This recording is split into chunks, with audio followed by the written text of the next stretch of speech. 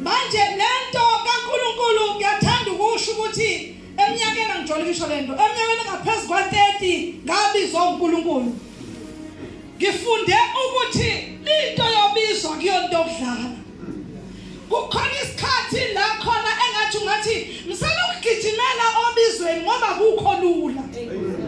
Kodwa uthe omunye yento kumele kuyahambeka. Kodwa kuthi angithi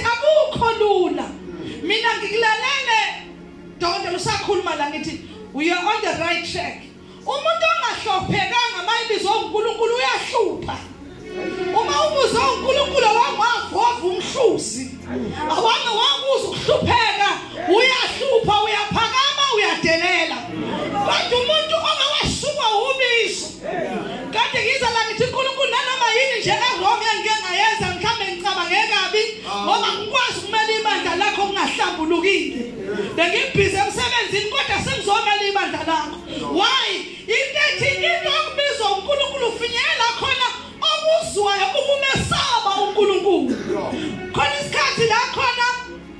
ogijima ngevesi uyizwe ikhatha zimnandi. Zojijana ngamavesi zimnandi.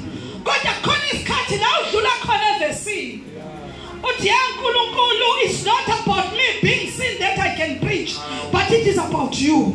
So ngimile kini phambi kwenu bazalwane ngizokhuluma labantu ababili abathathu ngoba ngiyaqonda ukuthi uma uzoshumayela usungazizoshumayeza bonke abantu.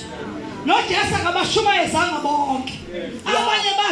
abapostoli abanye sebashunyayezwa yithi into nje engiyiphuthumisayo ebengizwe emoyeni wami ethi ungavumi ipast yakho noma i-background yakho yenza i-destiny yakho ingabi khona. Akuve